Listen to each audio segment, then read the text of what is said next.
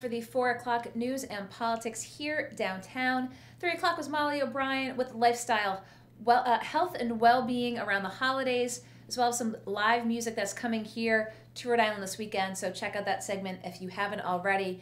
Before I welcome my first guest, we have some sad news that is on Go Local right now. The West Elmwood Intruders, who were playing in the national championships in Florida, ha- have an unfortunate accident take place early this morning. A mother was driving back through South Carolina in a van with a friend along with five children. The mother driving the van was killed when she went across the road. A couple of the children in surgery. You can read more about that on Go Local. We'll have more about that to come. But thoughts and prayers go out with the West Elmwood Intruders family here from Go Local. I do want to welcome my first guest here into studio. He's usually here on Thursdays, but we switched him over to the Friday slot to start off the weekend. Bob Whitcomb is around because the corner. Of technical difficulties. Technical difficulties. Literal. What are those? Step in the Literal. box over Yeah, here, there we sir. go. But you're all good on the tech front. Yeah, yeah, we're all, well, I'm going back to mimeograph machines. and the great thing about mimeograph, you can drink the fluid. No, you can't. Yes, you can. Learn like something new every day. Certain je ne sais quoi.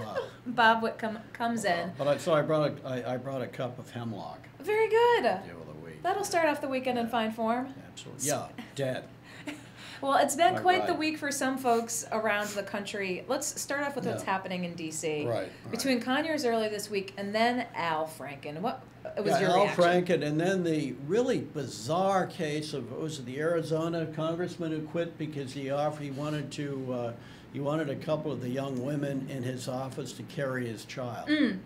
That is so bizarre. I don't know what to say, but in any event, he is. Uh, Resigning, retiring, uh, I guess early next month sometime. That's so bizarre. Is that sexual harassment or is it just being insane? you know, why not adopt? You know, You know, I'm, I'm afraid we'll be hearing more stories moving forward. But yeah, you and know, I don't know, you know, annals of animal husbandry and all that, but I mean, that is the weirdest thing yet. That's as weird as they get. Did you did you foresee at the outset of all the Al Franken allegations that he would end up stepping down? Uh, yes. You did? I sort of did, yeah, because he'd been in show business, and th- this kind of behavior is not unheard of in show business. I think what he did is is actually far less bad than uh, a lot of the other stuff I've heard back when I worked in New York and out in LA and stuff. Uh, and I, I think uh, Franken is actually his stories were milder than many, put it that way. Certainly was no Harvey Weinstein.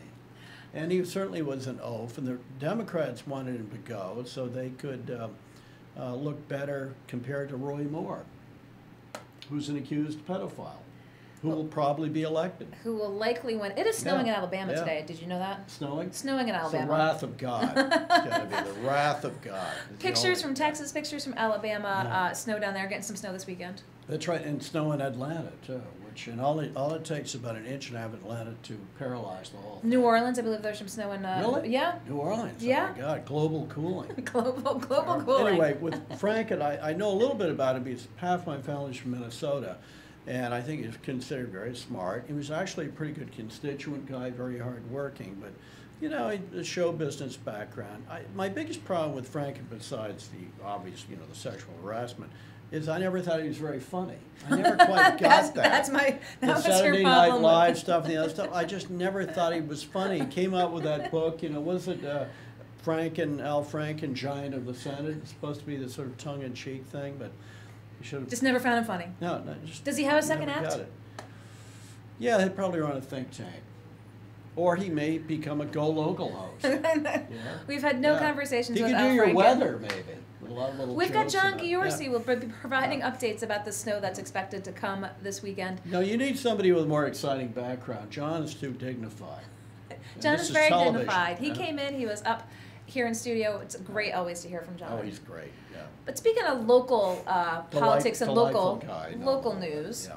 what do you think of what's going on with the St. Joseph's pension collapse, and specifically the diocese and the Attorney General's office? Let's go to the diocese. The, Yeah, the piece yeah. that Go Local had today was a, a, a trust document that, Yeah, that yeah. delineated clearly the role and responsibility that the bishop has.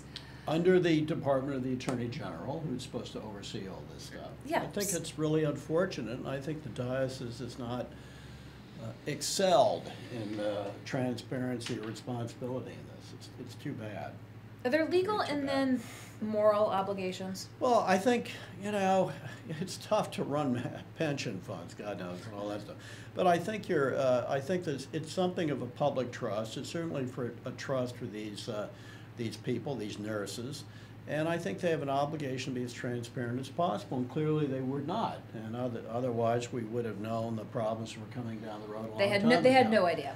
Uh, it wasn't, it, they were, I don't know, dishonest, they were certainly irresponsible in failing to properly fund it over the years, very much like, uh, many political jurisdictions who fail to fund these things, so they just Mm-hmm. Keep shove it off, kick can, it, kick kicking the can. and they hope they won't be in office when the, when the bill comes due. Maybe the bishop thought he'd be retired to, uh, Montreal or something, uh, by the time the, uh, all this came out. Uh, but I think it's been quite irresponsible. I hope they can put it right. I feel sorry for the nurses. And, uh, and I should emphasize, by the way, that the, these sort of Catholic pensions, uh, some of them are okay. I Mm. know this because my wife used to teach in a Catholic school. Mm. She was the uh, art teacher in a parochial school. And they apparently are okay. That was apparently another, another pile of, uh, of money. Uh, There's been some Better managed fund, uh, better- better better conversion. yeah. I think the transparency thing, every six months or whatever, there should be a clear and, uh, clear, you know, crystal and clear about what the status of the pension fund is. And what if folks, I mean, you know, you hear them, they're like, how much real estate does the church own? Not just here, everywhere. They're embarking on a. A lot less than they used to have. Capital the priest campaign. abuse stuff, boy, do they have Well, do you think we're going to yeah. see properties being sold off in this sense here? Do you think they're going to dig their. I think mean, it's possible. Yeah, I mean, parishes are shrinking. Uh, Catholics are now as uh, are becoming as uh, weak uh, churchgoers as Protestants have long been, except for the evangelicals. You know, the sort of the Roy Moore crowd. Mm-hmm. Um, so I think um I think they will probably look for more stuff to sell. Maybe a church and a in a parish with uh, you know very few parishioners, so it's sort of eight parishioners and one priest.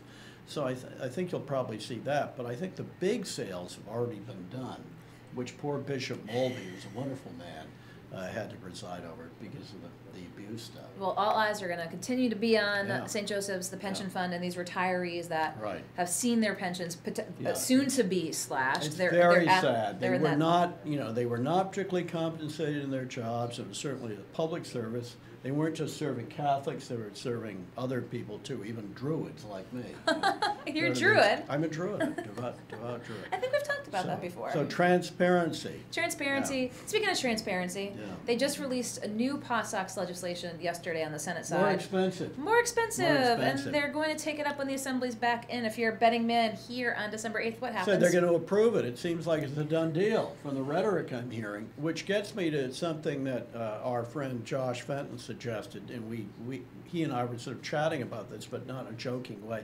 Why don't they think out, outside the box?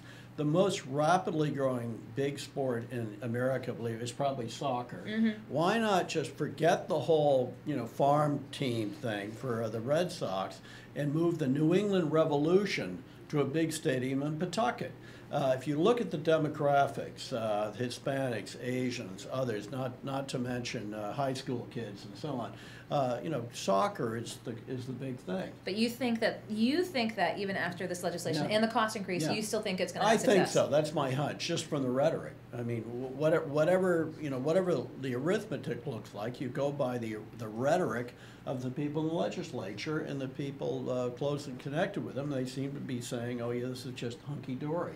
Well, we'll see when they're Yeah. back in January. But Um, think soccer. Maybe maybe so. if this thing goes down the, the toilet, so to speak, maybe somebody will come up with some really revolutionary idea. Think soccer. So to speak, Speaking yeah. of speaking of revolutionary ideas, Yeah. my next guest and I are going to talk at length about the issue of Yeah, Russell yeah, Russell Tubbs yeah. around the corner, the issue of Jerusalem.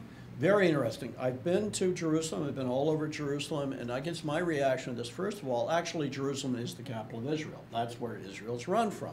And I think there's sort of a misconception about this because the uh, most countries have their embassies in Tel Aviv, which is I don't know 45 minutes away on the ocean on the on the sea. So I think I think if people sort of accept that reality to be useful, uh, obviously ev- virtually every country in the world opposes this move, uh, but I think if Trump has kind of turned over the apple cart and made people look at this whole situation in a new way, it may, I doubt it, but it could work out. Could work out. The old, you know, you can't make an omelet without breaking eggs. Maybe this will stir up new kinds of thinking. And you could have the two state solution ultimately with the, uh, with the Arabs, the Palestinians and East Jerusalem, and the, uh, and the, uh, the, uh, the Jewish state uh, headquartered in uh, West Jerusalem, which is the way it is now. We'll Yeah. see a lot of attention paid on it this Yeah. week, especially as you Yeah. said, the international reaction. Yeah, which has been overwhelmingly negative, predictably negative. Mm. There've been some rioting, uh, you know, but you know there was plenty of rioting before this happens. the, the Palestinians, you know, demonstrate, riot. There, a lot of them are very angry. This happens a lot.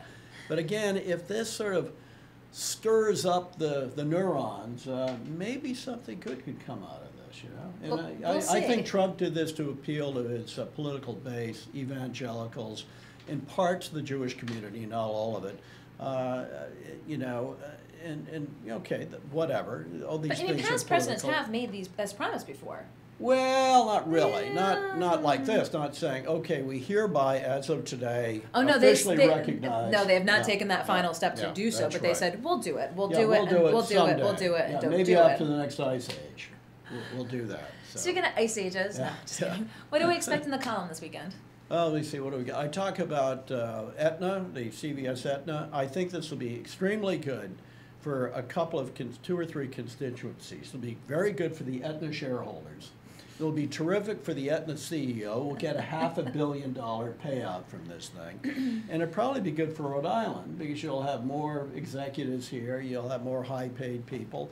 And I think it'll be good psychologically because, uh, you know, the company will be even bigger and it's based here, unless they leave. Unless they leave. Unless they leave, unless the, the CEO, the current Larry Merlo, or the next one decides more glamorous to be in Midtown Manhattan or maybe in, uh, in that would how Boston. big of no how big of a blow would that be? Yeah, that would be a huge blow if that happens. The other possibility, I think, and I think we've talked about this before, you know, the people running great big companies down, they really don't want to be in a suburban office park. I think there's a possibility they can end up in downtown Providence. That would be very very interesting as we look here all the time Also remember, Aetna is a financial company. Mm-hmm. Insurance companies are financial companies. This, we're, we're broadcasting this from the financial district, so there's some great synergies there. We're right next to RISD for graphic design stuff, which is great for a consumer company, consumer Mm-hmm. health company like CVS. So, you know, and there's a medical school and a school of public health. okay leaders. Listen Yeah, to Bob. See, so do that. Tell us, tell it, bring it up, bring it here downtown. Okay, we're expecting a little snow here this weekend. Do, uh, I'm expecting hundred inches of snow and two hundred and fifty mile an hour winds and insurance are you, are you all you all ready? You all I'm to ready. I've already Got put your- in my insurance claims. Bob Whitcomb, as Okay. always, it's a pleasure to having be you in helpful. studio. Okay. Stay warm. we'll see Let you us next know. week. Bye-bye, Okay, drive fast, take chances. Bob Whitcomb, Go Local columnist, comes in every week to talk about what's going on in the world, news, politics, environmental news. Uh, today we talked about a little what's going on in DC, a lot about what's going on in Rhode Island, and we'll talk with him next week. But st- stay tuned for his column that runs over the weekend. We like to try to get a little preview out of him, but you have to read it on Go Local Prov